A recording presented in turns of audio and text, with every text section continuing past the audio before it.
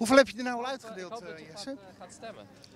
Ehm, drie ongeveer, want na iedere flyer wordt er een vraag gesteld. Dus, eh, Nee, maar de afgelopen weken?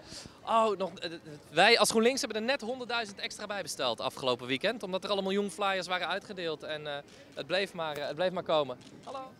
Eh, ja, er zijn nog heel veel mensen die twijfelen. Ja, ja. Hoe kun je ze over de streep trekken? Nou, bijvoorbeeld door eh, te flyeren en eh, proberen ze direct aan te spreken. Dat doen wij op alle stations in Nederland en huis aan huis.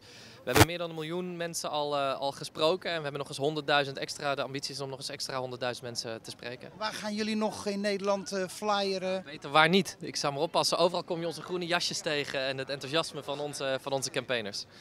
Waarom denk je dat Wilders het nu aflegt eigenlijk? Waarom hij het aflegt? Omdat hij geen campagne voert en eh, zijn hele campagne is gebaseerd op eh, haat en angst. En mensen willen hoop en optimisme. Jesse, wat, wat merk je nou op zo'n laatste dag? Eh, dat er ontzettend veel mensen eigenlijk bereid zijn om GroenLinks te stemmen en zien dat verandering in Nederland nodig is. En dat is heel hoopvol. Maar denk je nou dat links toch nog ehm, iets kan bereiken hè, deze laatste dag? Ja, tuurlijk. Ik denk dat we nog enorm kunnen stijgen in de, in de peilingen. Eh, of in, in, morgen op de, op de uitslag, eh, op de verkiezingsdag, dat we nog een enorm mooie uitslag kunnen halen. En we gaan er alles aan doen om dan eh, te kijken of we een centrum-links kabinet mogelijk kunnen maken. En nu gaat het erover hoe gaan we dat laatste stapje zetten. En dat is precies waarom we hier zijn. Die laatste stap is cruciaal en daarom moeten alle kiezers met een linkshart zich verenigen achter GroenLinks. Dan gaan we een inhaalslag maken die nog niet eerder is gezien in de Nederlandse geschiedenis. Die Game Change kan vandaag nog komen. Absoluut. Absoluut.